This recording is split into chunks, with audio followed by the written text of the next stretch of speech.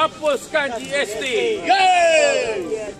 液化天然气涨价及落实消费税，连带影响了轮胎、汽车零件的价格。加上 Uber 轿车服务也来抢滩，新山注册德士司机联合会今天召开记者会，向政府申诉他们的难题。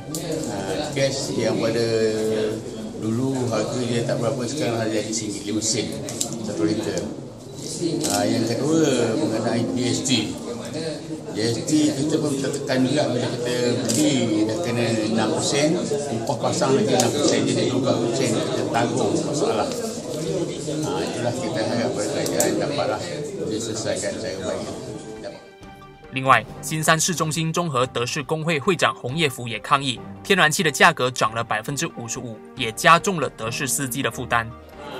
我们抗议这个 GST，跟抗议这个 NGV，那那那它价钱起了五十五八千，现在的价钱是一块零五分，连那个 G S D 就是对我们的德士很不利，因为维修。